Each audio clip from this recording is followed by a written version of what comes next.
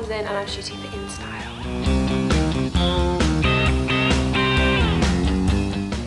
Each shot has a different piece, so the first shot will have a dress, the second a pair of jeans. We've got a Phillip Lim skirt, this is the McQueen dress, but it's very gorgeous. We love it. It looks stunning on. I'm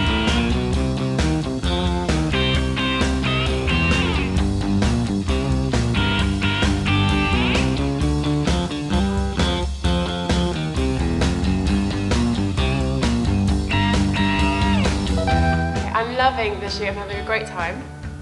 Uh, my favourite outfit so far was the McQueen dress, the Denim McQueen dress. I do like uh, a little bit of Chanel every now and then.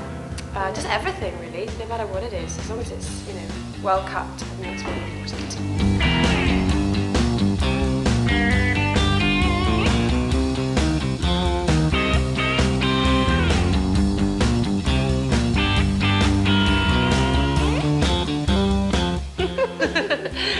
Hang on, I'm gonna find you a beauty. Look at that.